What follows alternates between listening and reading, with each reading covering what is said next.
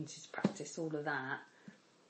But how many people are really accessing it? It's a bit like um, like looking at the impact then, isn't it? So we put in child protection plans, child in need plans, Yeah. and all of the focus is in well, what impact is that having? Yeah. and that's what you want to look at the staff group. Yes, it? Like, absolutely, what impact is that having? Is Yeah. is it the right strategy that's getting your staff group to be where they want to be, or is there a gap?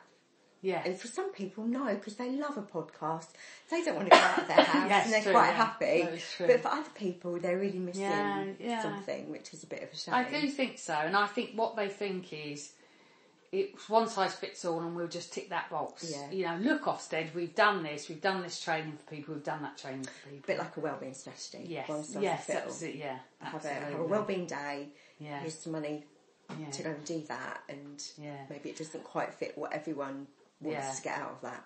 I thought the child outcome analysis, so you know that box.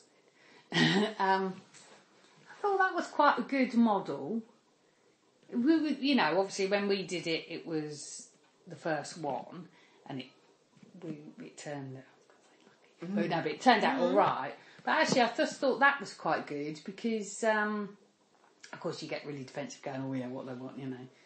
But yeah, that was quite good, really, to to you know sort of see what you're looking at, audit, them coming mm. around, you're showcasing all your stuff and everything.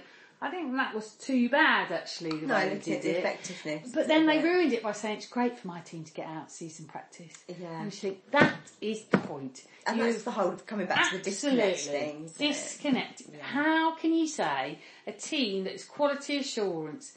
You're saying it's good for them to get out, Yeah, that's, and he and you just ruined it in one fell swoop. Ruined for me. it. Yeah, because I just thought, really, Yeah. do you not be saying that to the staff? no, because then that just reinforces what they think Yeah, yeah. that it's separate and And everyone's separate in their silo. So like CP Mm. chair didn't want, you know, dad with hard of hearing and mum with learning dis- disability. We said there needs to be chair in the in the meeting face to face hybrid. You know, we haven't got screen, but we can have it on the laptop. First of all, she says, "Oh no, the traffic's too bad to come down to Dover." Then, sorry, I shouldn't say that. Um, then she said, "Oh, have you done a risk assessment?" Dad's a bit aggressive, you know, um, and he can be, you know, not pleasant. Um, then we said, "Don't worry, we've got a panic alarm. We've done a risk assessment." Then she said, "The layout of the building was not conducive to having this father." First of all, we said before COVID, we always had face-to-face mm. meetings in that room. We've had aggressive mm. fathers, and actually, how dare you? My social workers are going into that house every week to see that aggressive man, mm. and you're sitting in a meeting. You're gonna you're gonna have you know two social workers in there, plus the advocate, plus um, you as a chair, and, And all of us alarm. here mm. because we know that he can be like that, and we you hit the panic alarm, we're all going to be there, and yet you don't want to do that. And I just thought you've got no idea that No. everybody's been doing this. Because that comes back to what you said at the beginning about the feeling that everyone's working together Yeah, and communication and Yeah, being able to have that open door policy and being helpful. Yeah, yeah. So And sounds like- understanding that and when that doesn't happen, Yeah. that feels really difficult. Yeah. Because that's Yeah. not that doesn't make everyone feel well Yeah, and happy about their job yeah. because it feels like you're not working together No, and sharing skill and Yeah. all those kind of things. And of course, as soon as you built inbuilt a QA sort of system, you know, and and actually the social workers were insulted because they were saying, you know, hmm. she's, the chair doesn't want to come down and do it face to face, and yet we've all been. You know, you always come back to COVID. We've all been doing this in mm. COVID, but actually, we've been doing this before COVID, and we used to do it face to face. So, what is the problem? Well, I think that from what you're saying, I think that things work best when people are working together and coming up with ideas about how to solve Yeah, things. yeah. And you feel like you're in it together rather than a disconnect Battling, between yeah, to- different yeah. people in different Yeah, teams. definitely, That feels, I think, Yeah, difficult. Um, Really. And whilst you have a QA system, that's fine, and you have a, you know, checks and balances for, you know, independent, you know, people, you know, chairs or whatever, that's fine. But actually, it's a deficit model, and I think that doesn't work. That's why people leave. I Mm. And that's the whole thing about the appreciative inquiry approach is that it's not a deficit model. Yeah, and I know there's some ways people maybe just use it slightly differently, but the whole point of it for this study Yeah. is saying we know social work is really hard. Don't need Yeah. to hear any more about that. Yes, of course We not, need to no. hear a bit more around to what's going well and Yeah, how to make it better. Because otherwise you're stuck in that perpetual, Yes. well, senior management don't listen to me, and the QA team chairs hate us, we get negative feedback, our building's rubbish, and all of those things are absolutely Yes, true. yeah. But you kind of think, "Oh, we know that. Yes, So what, what, what can we do? We What, do, yeah. When it's working well, what is Yeah. what's working really well? we've got forks. Yeah, yeah. but yeah, you know, it's true. And I think social workers, and, and I think every profession probably gets to that point too, but social workers particularly carry a bit of a narrative around our job is really hard. Yeah. Uh, You have to be busy or you're not important. Yeah, That's yeah. definitely true, but probably for other professions as well.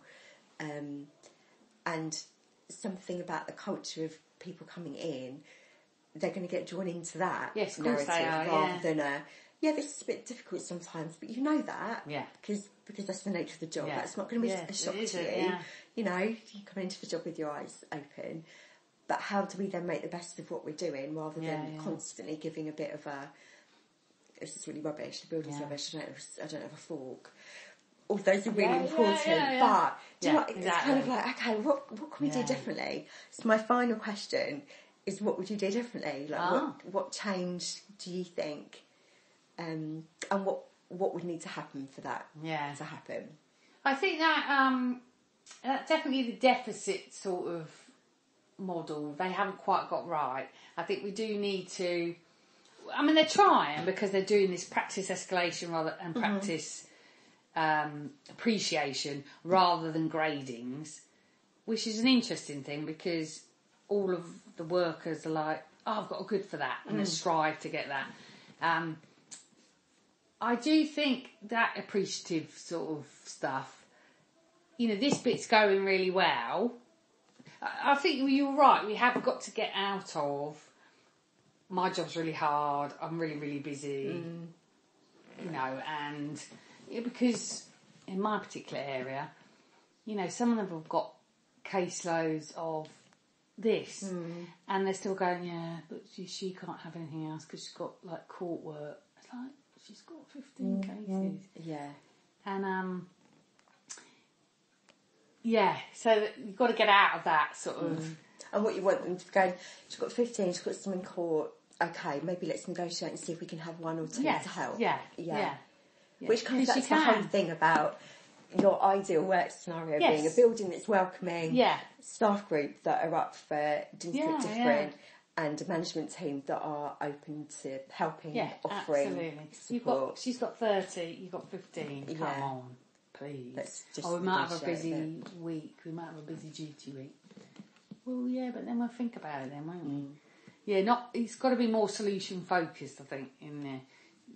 You know, it's hard to for teams not to be in sort of like Mm. protective and stuff like that. But you've got to have that ethos of this is a district wide. This is a team that we've all got to work together because the job is shit and the job is really hard. And that's But not if going we to work together, yeah. I think that you Yeah. know that's one of the challenges, isn't it? Yeah, that yeah.